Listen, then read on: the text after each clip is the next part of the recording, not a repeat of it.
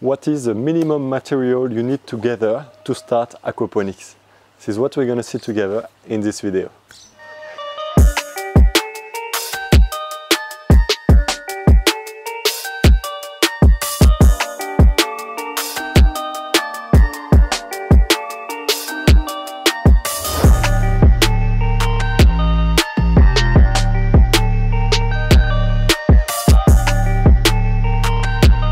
So if you haven't started aquaponics yet, uh, but are interested, this video is for you. In this video we're going to see how to gather some equipment, some material, in order to start an aquaponics system with the lowest budget possible. So in this video we are not going to talk about a complex aquaponics system, we're going to focus on simple backyard aquaponics system and specifically the flood and drain grow bed aquaponics system. So your aquaponics system is going to be composed of six different parts that you need to collect. Uh, and once you got the six parts, you can build your aquaponics system. You need to build a bit of knowledge, so I recommend you to have a look uh, at the free aquaponics training on the description of the video, uh, just below, or in the I like information somewhere in the corner of the video. Uh, it's a step-by-step -step training to help you to build your aquaponics system in the best way possible, put it together and then uh, manage it uh, in a sustainable way to produce uh, healthy and tasty food in your own backyard.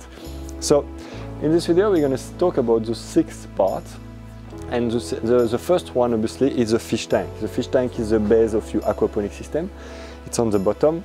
Uh, it's the part that is going to obviously uh, hold uh, the the grow bed. The whole grow bed is sitting on top.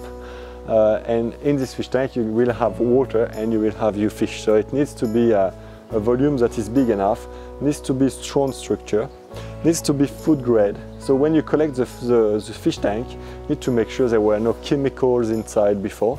Uh, you want to make sure as well it's not made in iron because if it's a metal uh, tank, uh, it may release some particles into the water and it may affect uh, your fish, your bacteria or your plants. So stay away from metals. If you really want to use metal, you will have to use a liner inside to avoid the water to be in direct contact. So in terms of uh, fish tank, you can collect uh, IBCs, you know they are uh, industri industrial bulk tank uh, container. Uh, you can find them quite uh, easily in most of the countries, in factories. Uh, otherwise you can use a bin, you can use a lot of different materials. Some people use a bathtub. Whatever it is, just make sure that when you get the fish tank, the size is approximately twice the size of your grow bed. So you will need two tanks, one for the fish tank, one for the grow bed. The fish tank will be twice the size of the grow bed. In terms of height, you want a minimum of 45 centimeters of height. So it's quite simple, you can reuse, recycle some old equipment or you can buy a new one. It depends on your budget, but if you are on a low uh, budget, you can definitely recycle something. Just have a look around, uh, take the time that uh, it needs.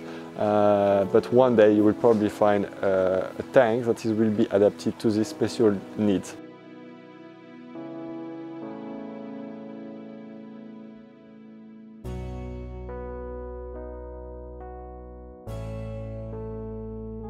In terms of grow bed now, the part number two is the grow bed. So the grow bed is the part that is sitting on top of the fish tank. In the grow bed, uh, we'll have some media and uh, we'll have our plants growing. So the grow bed is going to act as the filter of the, of the aquaponic system, right? A biological filter, mechanical filter as well sometimes. So uh, in terms of size for the grow bed, we want it, as I say, half the size of uh, the fish tank. So when I talk about size, I'm talking about volume uh, the grow bed uh, volume has to be half the size of the fish tank. That's just an approximation simply because all the water you raise into the grow bed at one point is going to fall down back into the fish tank. Fish tank needs to be able to hold all this volume of water and when the water is up into the grow bed, well, you need to have enough water for your fish because what we are using here is the flood and drain system. So it's the, the level of water in the fish tank is going, uh, in the grow bed is going up and down. So at one point, all the water will be in the fish tank. That's why we want the grow bed to be half the size of the fish tank. Same as for the fish tank, uh, the grow bed tank needs to be uh, uh, of good structure, needs to hold together. It needs to be food grade, that's very important. Again, don't use anything that had any chemical inside that was not food grade. And also stay away from concrete or any substance that may affect the pH of your water. You know, concrete uh, has limestone inside and it may definitely affect the pH of your water, increase the pH, which then will make uh, the, the aquaponic system quite difficult to manage. So stay away from uh, this type of material. Uh, try to work with uh, plastic that is food grade uh, or uh, just use a liner in any other type of tank. Even if it's concrete, you can put a liner inside, a simple pond liner. It's going to help you to keep the, uh, the, the, tank waterproof, but also to avoid any contact with uh, the material of, uh, of the tank.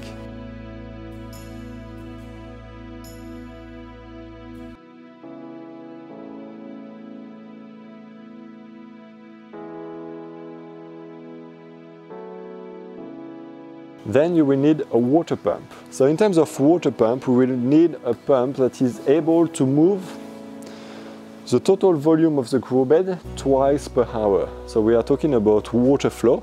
And you know the water flow of a water pump depends on the height where uh, the pump has to move the water. You know, if you move the water 10 meters high, the water flow is going to be very small. Even for some pump, it's going to be zero. Uh, but if it's very low, if it's only 10 centimeters above uh, the level of water, it's going to be higher. So that's how you, uh, you have to take this in consideration when you choose your pump. You need a pump that is, will be able to move a water flow of twice the volume of the grow bed.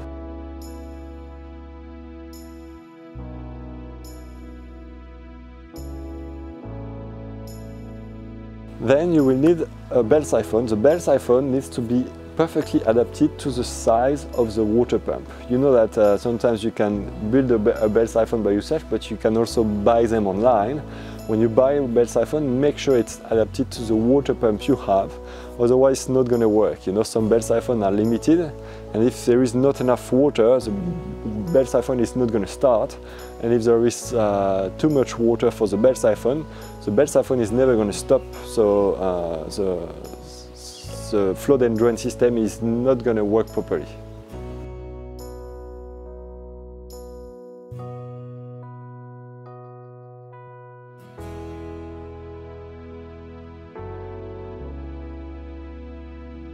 Then uh, the part number five is not really really a part, but that's the media that we're going to put inside our grow bed. So here uh, in my tank, I use a scoria, which is a little uh, volcanic rock, uh, very small rock, and uh, that's what I recommend uh, you to use. It's volcanic rock because it's porous, it's light, it offers a very large surface for the bacteria.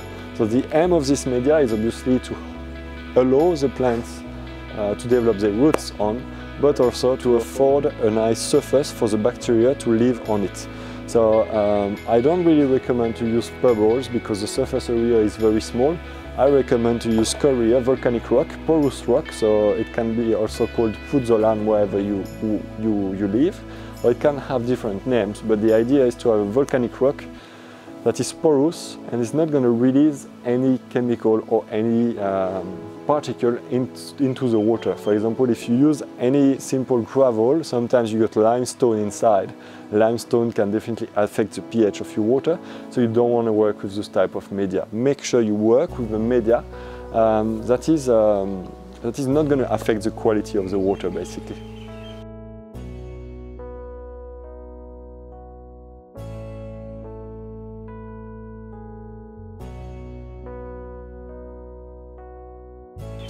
And finally, you have the possibility to add a little air pump into your aquaponic system. So it's a point number six. Uh, it's not a, a, real requirement if you use just few goldfish at a low density. You're going to be able to run the system without any air pump. But I really recommend you to add an air pump because it's going to allow your fish to feel very comfortable into the fish tank and to have enough oxygen. Now if you want to grow fish that are a bit more um, uh, expecting a bit more oxygen into the water and consume a bit more oxygen, such as trout, it is definitely required to add an, an, air pump on top of the water pump that you're going to have. Um, so that's point number six. Uh, you can buy an air pump designed for aquariums or for fish ponds. Uh, it's not very expensive. Uh, you can sometimes get find some second-hand one, um, and it's really gonna help your fish to be in good conditions into the water. That was the six uh, parts that you need to build your aquaponics system. Once you gather all of them, you can put the aquaponics system together. Again, to put it together, I really recommend you to have a look at uh, the free aquaponics training, the six, step, six steps uh, training that is uh, in the description just below, completely free. And after that, you will need some other things such as buying the fish, buying uh, the plants, uh, and you will need also uh, some equipment to be able to test the quality of your water. also some fish food to feed your fish, so there is a bit of, of things to find around, but the six things that I just uh, explained in this video, the, the six uh, material, uh, that's really what you will need in order to start your first aquaponics system. So I hope uh, you enjoyed this video. If you are new to this channel, you can uh, subscribe to the to the channel. I release a video every week. I try to release a video every week and in this video I would like to emphasize that uh, if you need some information please post it in the comment. Tell me what you need to, to learn more um, because uh, at the moment I think I have covered many uh, topics about aquaponics and uh, I may slow down. I got a lot of projects going on the side, so I may do a bit less video unless I got some requirements. If you need something, just uh, give me a comment, let me know what you need in terms of video. In this case, if I have some demand, I'm gonna make more videos. My aim is to help you. I just wanna, I don't wanna make video just to make videos, it's really to help the community. So if you have some problems uh, uh, starting your aquaponics system, let me know and then obviously I will make all the videos and I will take the time to help you. But if it's not required, if you think I have uh, produced enough video and you find the support that you need uh, in those free videos or in the training that I offer, uh, then I, am going to maybe slow down into the numbers of videos. So it's really uh, up to you. If you need something, let me know. Otherwise, maybe I'm going to do a bit less. Um, you can also give a like to the video if you liked it. I, uh, I hope that's the case, so give it a like, it always uh, help me. And I see you in the next video. Bye bye. Don't forget to get your free gift from this screen. You can also leave me a comment below the video, subscribe to the channel and see my last video. I really hope to see you soon and I wish you a fantastic success with aquaponics. Have a good crop!